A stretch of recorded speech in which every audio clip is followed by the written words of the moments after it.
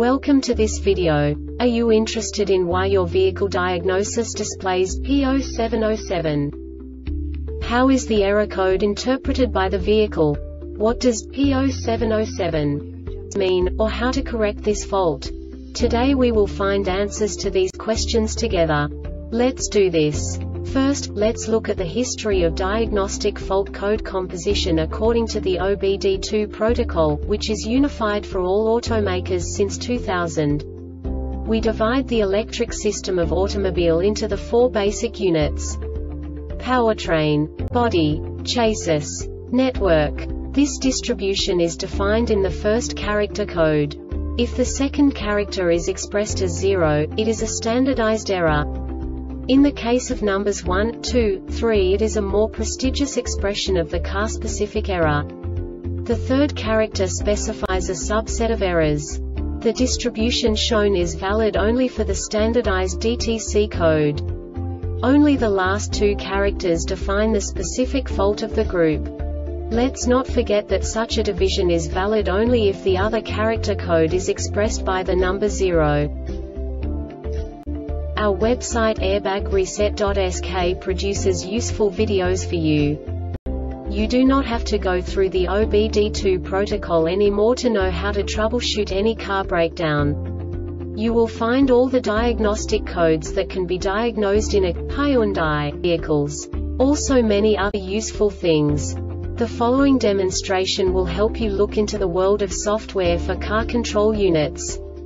You unbelievably can move the video a bit further.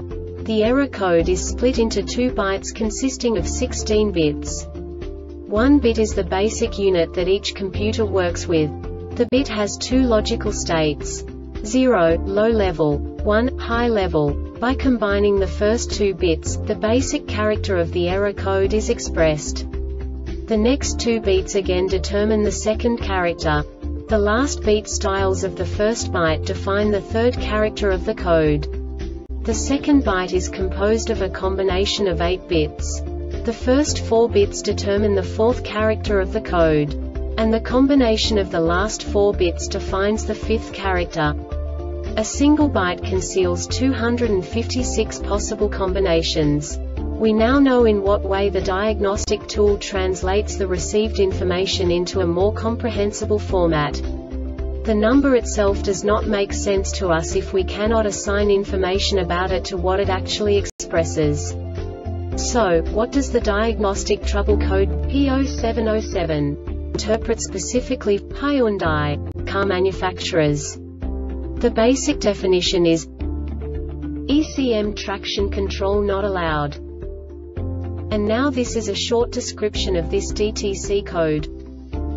C0240 ignition on. This diagnostic error occurs most often in these cases. The EBCM receives a serial data message stating that the ECM has lost the ability to reduce engine torque.